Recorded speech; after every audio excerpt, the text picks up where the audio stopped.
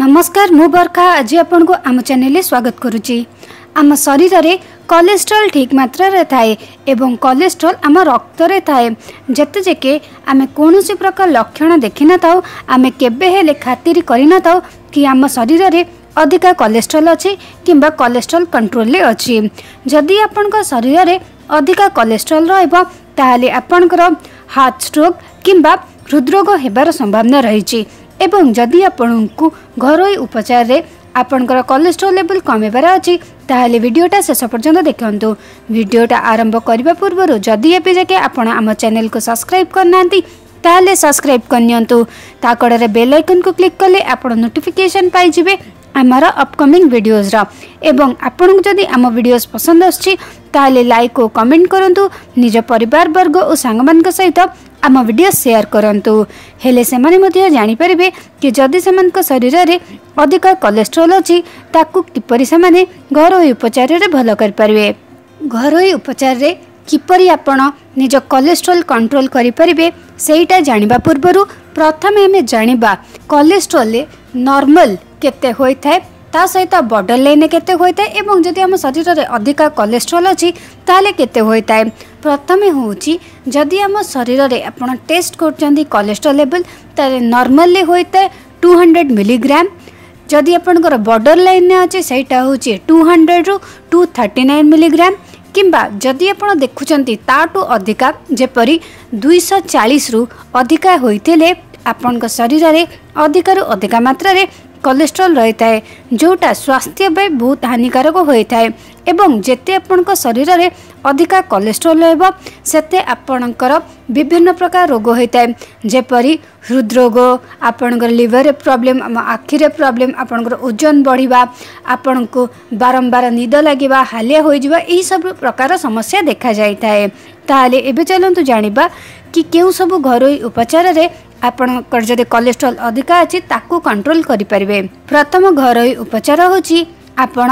vitamin ଖାଦ୍ୟ ଖାଆନ୍ତୁ ଯେତେ ଅଧିକା ଭିଟାମିନ୍ ଖାଇବେ ଆପଣଙ୍କ ସ୍ୱାସ୍ଥ୍ୟ ପାଇଁ ସେତେ ଭଲ ହୋଇଥାଏ ଏବଂ ଯେତେ ଅଧିକା ଭିଟାମିନ୍ ଖାଇବେ ସେଇଟା ଆପଣଙ୍କର କୋଲେଷ୍ଟ୍ରୋଲ୍କୁ ପତଳା କରିପାରେ ଏବଂ ରକ୍ତ ସଞ୍ଚାଳନରେ ସାହାଯ୍ୟ କରିଥାଏ ସେଥିପାଇଁକି ଆପଣଙ୍କ ଶରୀରକୁ ଭିଟାମିନ୍ ବି ଥ୍ରୀ ଇ सी बहुत आवश्यक हुए सब खाद्य निश्चित भावना खान्छु जेनेरा आपणको विटामिन विभिन्न प्रकार खटा खाद्यपरि कमलाबु बाटापि यु ता सहित सबुज पनिपरु मिथाए जिकेन खाने चिकेन मिले मसरुम कम्बा छु मिपऱ्यो ଏବଂ ତା ସହିତ ଯଦି ଆପଣ ଚାହିଁବେ ତାହେଲେ ଆପଣ ଆଲମଣ୍ଡ ଖାଇପାରିବେ କିମ୍ବା ବାଦାମ ଖାଇପାରିବେ ଏବଂ ଶେଷରେ ଆପଣ କନ୍ଦମୂଳ ମଧ୍ୟ ଖାଆନ୍ତୁ କନ୍ଦମୂଳରେ ଥିବା ଭିଟାମିନ୍ସ ଆପଣଙ୍କ ରକ୍ତକୁ ପତଳା କରିବାରେ ଏବଂ କୋଲେଷ୍ଟ୍ରୋଲ୍ କମେଇବାରେ ସାହାଯ୍ୟ କରିଥାଏ ଦ୍ୱିତୀୟରେ ହେଉଛି ଯଦି ଆପଣ ପ୍ରତିଦିନ ଆଇଁଷ ଖାଇପାରୁନାହାନ୍ତି ଛତୁ ଖାଇପାରୁନାହାନ୍ତି ତାହେଲେ ଚିନ୍ତା କରିବାର କୌଣସି ପ୍ରକାର ଆବଶ୍ୟକ ନାହିଁ ଯଦି ଆପଣ କୌଣସି ବି ଖାଦ୍ୟ ତିଆରି କରୁଛନ୍ତି ଏବଂ ସେଥିରେ ଆପଣ ସୋରିଷ ତେଲ ହେଉ ରାଶି ତେଲ ହେଉ କିମ୍ବା ଆପଣ ରିଫାଇନ୍ ତେଲ ବ୍ୟବହାର କରୁଛନ୍ତି ତା ଜାଗାରେ ଯଦି ଆପଣ ନଡ଼ିଆ ତେଲ ବ୍ୟବହାର କରିକି ନିଜ ଖାଦ୍ୟ ପଦାର୍ଥ ତିଆରି କରିବେ ତାହେଲେ ସେଇଟା ଆପଣଙ୍କର କୋଲେଷ୍ଟ୍ରଲକୁ କଣ୍ଟ୍ରୋଲ କରିବାରେ ସାହାଯ୍ୟ ହୋଇଥାଏ ଯେହେତୁ ନଡ଼ିଆ ତେଲ ନ୍ୟାଚୁରାଲ ହୋଇଥାଏ ସେଥିରେ ଥିବା ଭିଟାମିନ୍ସ ଓ ମିନେରାଲ୍ସ ଆମକୁ ସୁସ୍ଥ ରଖିବାରେ ଆମ ଶରୀରରେ ଯେତେ ଖରାପ କୋଲେଷ୍ଟ୍ରଲ ଅଛି ତାକୁ ବାହାର କରିବାରେ ସାହାଯ୍ୟ କରିଥାଏ ଏବଂ ଆମ ହୃଦୟକୁ ବହୁତ ସୁସ୍ଥ ରଖିବାରେ ସାହାଯ୍ୟ କରିଥାଏ ସେଥିପାଇଁ କି ଯାହା ବି ତେଲ ଆପଣ ବ୍ୟବହାର କରୁଛନ୍ତି ଚେଷ୍ଟା କରନ୍ତୁ ଆପଣ ତା ଜାଗାରେ ସବୁବେଳେ ନଡ଼ିଆ ତେଲକୁ ବ୍ୟବହାର କରିବା ପାଇଁ ଏବଂ ନଡ଼ିଆ ତେଲ ଯେତେ କମ୍ ଆପଣ ବ୍ୟବହାର କରିବେ ସେଇଟା ଆପଣଙ୍କ ସ୍ୱାସ୍ଥ୍ୟ ପାଇଁ ବେଶୀ ଲାଭଦାୟକ ହୋଇଥାଏ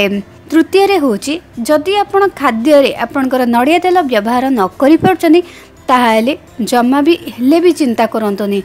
ଚିନ୍ତା କରିବା ଦ୍ୱାରା ଆପଣଙ୍କ ସ୍ୱାସ୍ଥ୍ୟ ଉପରେ ସେ ବେଶୀ ଖରାପ ପ୍ରଭାବ ପକାଇଥାଏ ଏବଂ କୋଲେଷ୍ଟ୍ରଲ୍ ବଢ଼ିବାର ଏକ ଆଉ ଗୋଟେ ମଧ୍ୟ କାରଣ ହୋଇଥାଏ ତା ଜାଗାରେ ଯଦି ଆପଣ ନିଜ ଖାଦ୍ୟରେ ପ୍ରତିଦିନ ତିନିଟାରୁ ଚାରିଟା ରସୁଣ କୁଲାକୁ ଖାଉଛନ୍ତି ତାହେଲେ ମଧ୍ୟ ଆପଣଙ୍କ